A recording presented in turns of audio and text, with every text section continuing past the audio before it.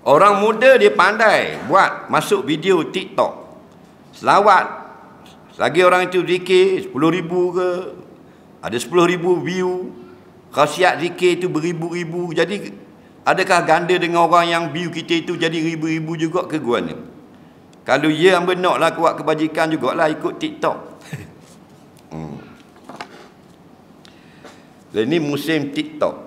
Eh, zaman kita dulu TikTok. Ingat ingat tak TikTok? Ha, cekelak. Neh, cekelak. Masih ada lagi dekat saya Ya, ada TikTok. Ah, tu dulu zaman budak kalau suka tu. Tak ketak tu. Iklan dia ting tu nambah tahu. Ni tak ada mulut kau masuk. Bang, pada hari tu wak tak masuk kan lah mulut. Ah, TikTok lah ni TikTok pula. Bang. Ah. Jadi tak kira lah TikTok ke YouTube ke apa ke tak. Nah, Allah kata ta'awanu 'alal birri wat taqwa. Kamu tolong benda yang baik dan benda takwa. Pasti kamu share pahala dia. Adalu 'alal khairi Nabi kata kafa'ilihi. Orang yang menunjukkan kepada perkara yang baik, maka dia dapat sama pahala macam orang lain buat. Faham? Ha.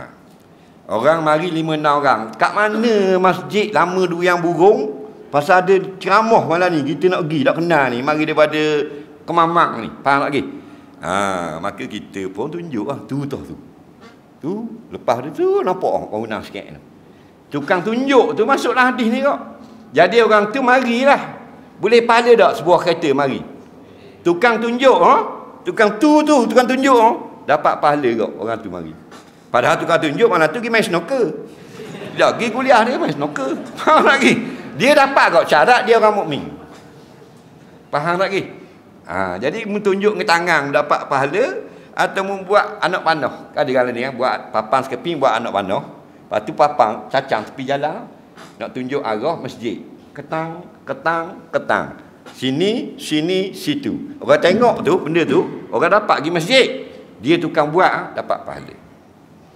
Wadalu al-syari kafa'il. Orang yang tunjuk pada perkara dosa ke, dia dapat sama ke. Lepas tu dalam TikTok, kalau benda tu benda manfaat, benda yang menjadikan kebaikan, benda yang mengundang pahala seperti selawat, seribu view, dan bila view itu seribu orang yang view itu dia juga berselawat, maka pahala seribu orang berselawat itu dapat orang yang buat TikTok.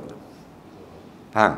Ha, yang buat dosa pula, nah yang kutuk orang, yang buka air orang, cari salah orang, yang nak jatuhkan orang, maka bertidak berkeputusan dosanya sampai hari kiamat. Wallahu a'lam bismillah.